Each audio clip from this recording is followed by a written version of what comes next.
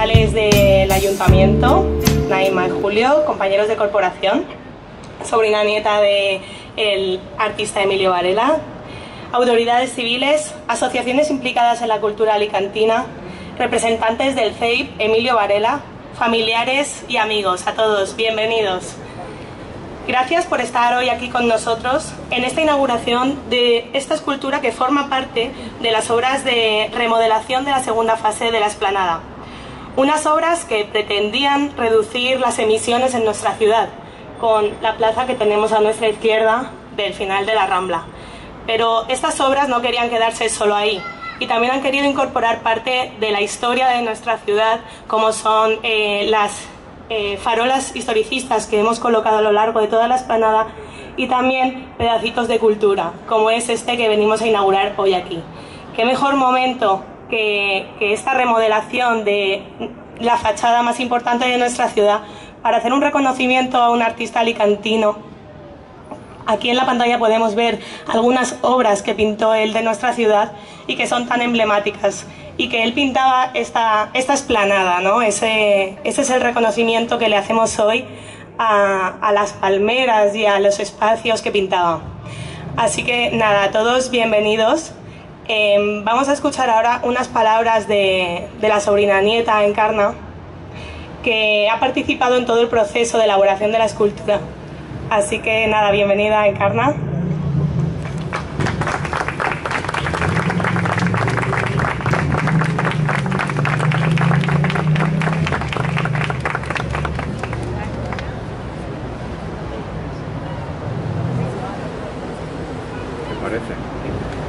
Buenas tardes a todos y a todas. En primer lugar, quiero agradecer al Ayuntamiento de Alicante por elegir a Emilio Varela para que su figura esté presente a través de esta escultura que hoy inauguramos en una de las zonas más emblemáticas de nuestra ciudad, como es la Esplanada. Para mí fue toda una sorpresa que no me esperaba para nada cuando me lo comunicaron y por ello no puedo estar más que agradecida a Luis, a Rocío y a Naim. También quiero agradecer y felicitar a todos los que han contribuido con su trabajo y dedicación a la elaboración y preparación de la misma, haciendo posible que a partir de hoy sea una realidad. Entre ellos destacaría las personas con las que he estado en contacto estos últimos meses, como son Francisco de Cívica, a Jonathan el escultor y a Rubén de la Fundación Fundición Capa.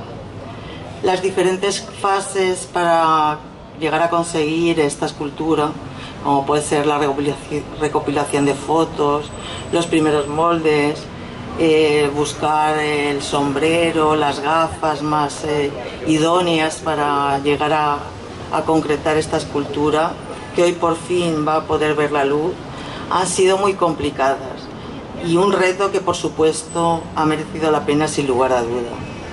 Elegir a nuestro mejor pintor alicantino y universal para que desde hoy esté presente en este punto de la esplanada y con esta escultura supone un, un reconocimiento y un recuerdo muy entrañable al artista alicantino que tantas veces paseó y pintó esta y otras muchas zonas de la ciudad con su inigualable y característico sello de identidad, la luz y el color en sus cuadros.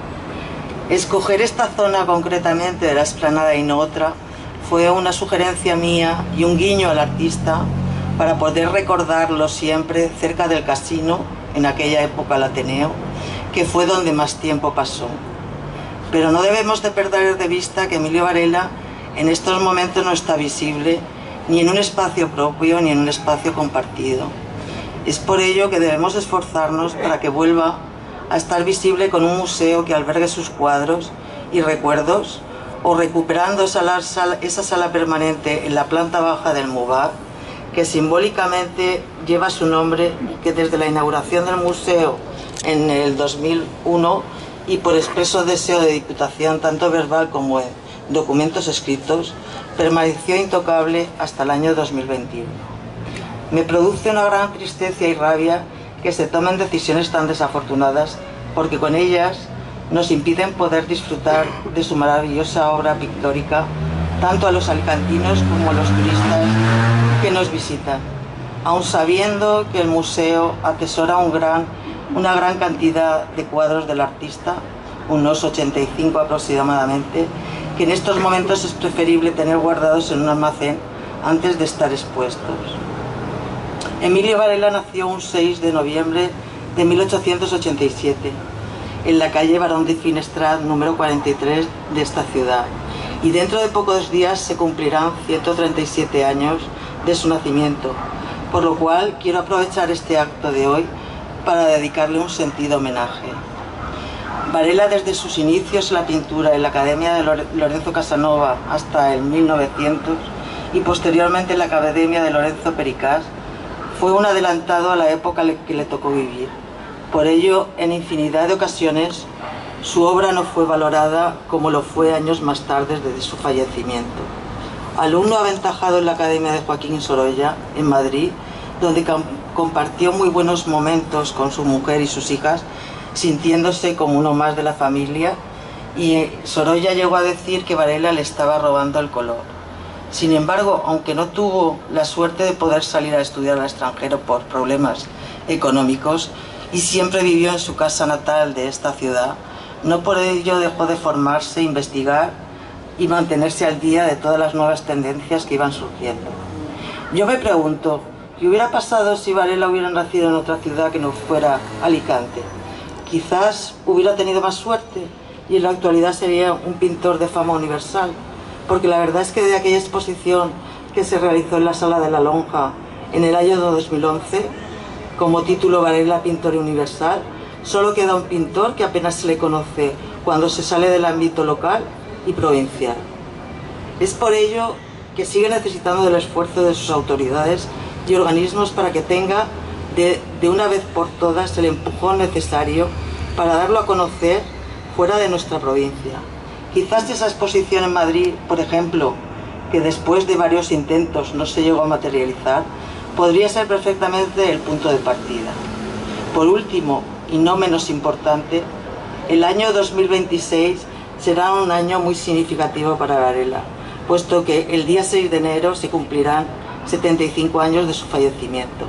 Yo creo que hoy es un buen día y con suficiente tiempo de margen para pensar en realizarle un homenaje como se merece.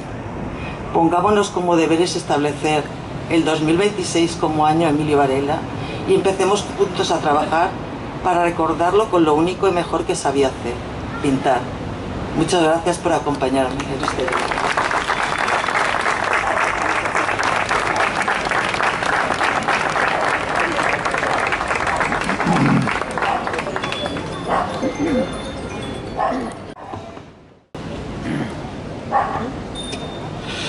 Buenas tardes, concejala de Urbanismo, querida Rocío Gómez, concejala de Cultura, querida Naima Belgilali, concejal de Recursos Humanos y Seguridad, querido Julio Calero, miembros de la Corporación Municipal, eh, querida Encarna, Encarna Varela, sobrina, nieta del artista al que hoy estamos rindiendo homenaje, Emilio Varela, el resto de autoridades, asociaciones, representantes del CEIP Emilio eh, Varela, familiares y un agradecimiento también muy, muy especial a los estudiantes del Conservatorio eh, del guitarra José Tomás que hoy pues están amenizando y nos están dando ese contrapunto también a la pintura a través de la música. Eh, lo, es, lo ha descrito Encarna ese inicio pues eh, con Lorenzo Carbonell en el estudio de Lorenzo Carbonell y luego posteriormente con Pericás para pasar a, eh, a Madrid, ir a Madrid y estudiar con ni más ni menos que con Sorolla, siendo uno de sus alumnos. Ahí está la nota característica dentro de un auténtico impresionista, el juego de la luz y del color, el traslado del color mediterráneo, esos colores, esa luz impresionante que tenemos solo en esta tierra. Sorolla la captó la capturó, pero fue Emilio quien le puso en un brete, discutiéndole esa, esa, esa excepcional paleta. Pertenece a esa época dorada de la cultura alicantina, Oscar Esplá, eh, Gabriel Miró y tantos otros que han pasado la historia universal de la, de la cultura. y que, eh, bueno, pues eh, añorados por, por, tiempos que evidentemente fueron mm, envidiables.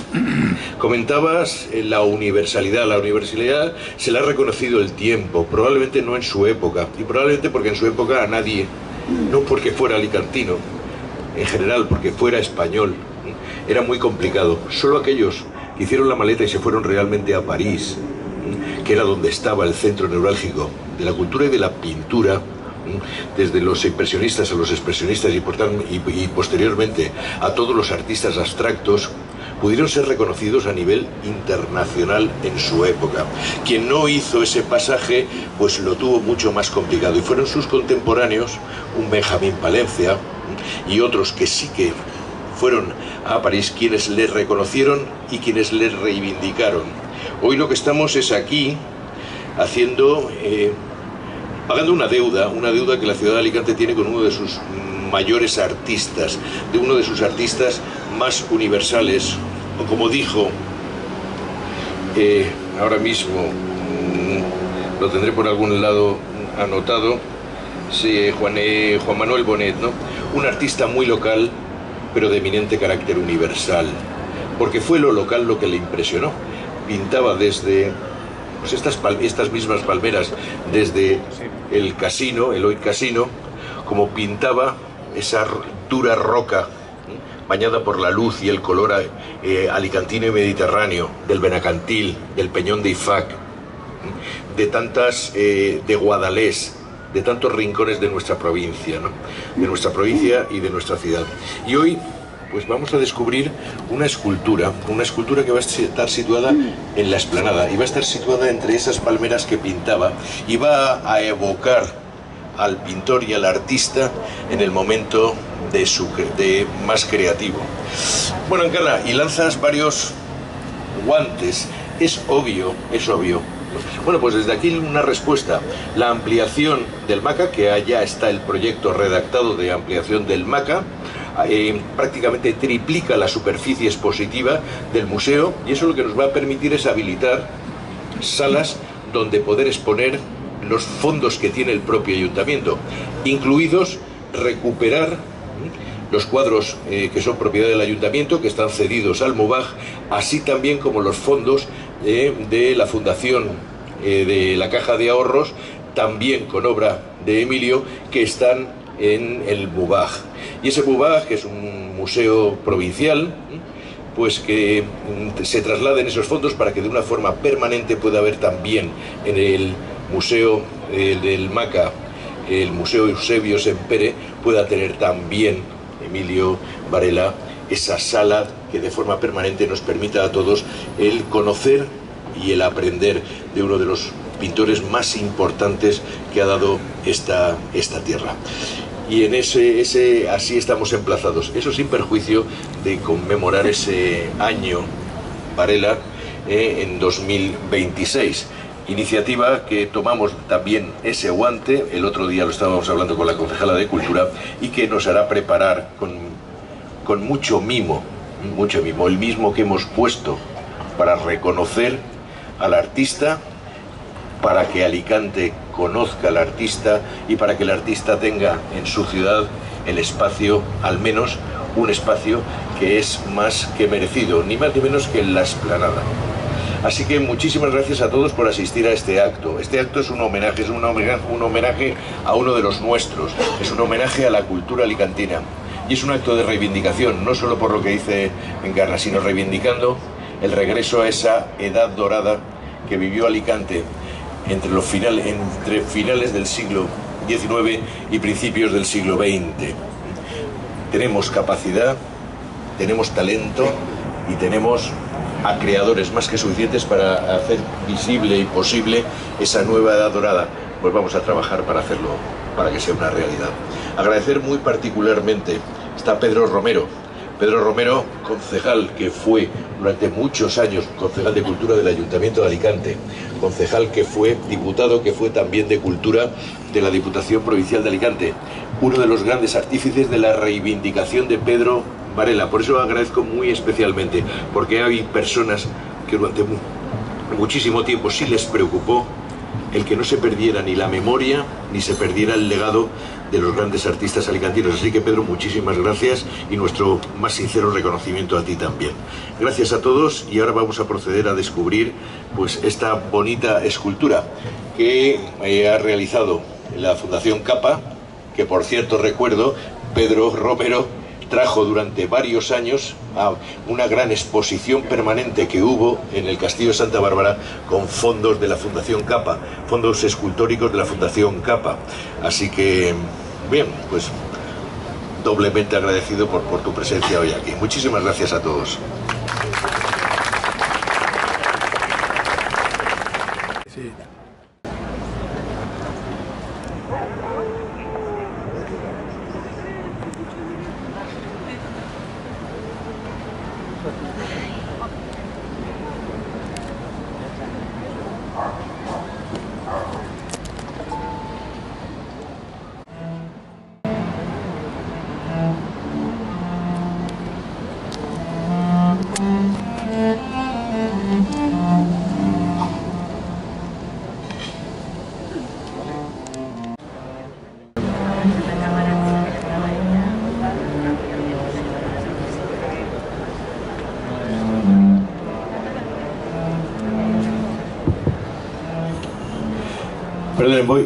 Creía que iba a Encarna a comentarlo, pero es cosas que son detalles importantes a la hora de hacer la escultura, ¿no?